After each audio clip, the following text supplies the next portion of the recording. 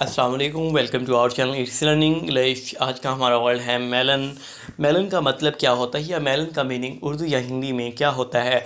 आज की इस वीडियोज़ के अंदर हम देख लेते हैं। उससे पहले अगर अभी तक आपने हमारे चैनल इट्स लर्निंग इंग्लिश को सब्सक्राइब नहीं किया तो ज़रूर सब्सक्राइब कर दीजिएगा मेलन मेलन के स्पेलिंग होंगे M E L O N melon melon का मतलब खरबूजे को कहा जाता है। मेलन का मतलब खरबूजा होता है। तो अगर आपको ये वीडियो पसंद आई हो तो इट्स लर्निंग इंग्लिश को सब्सक्राइब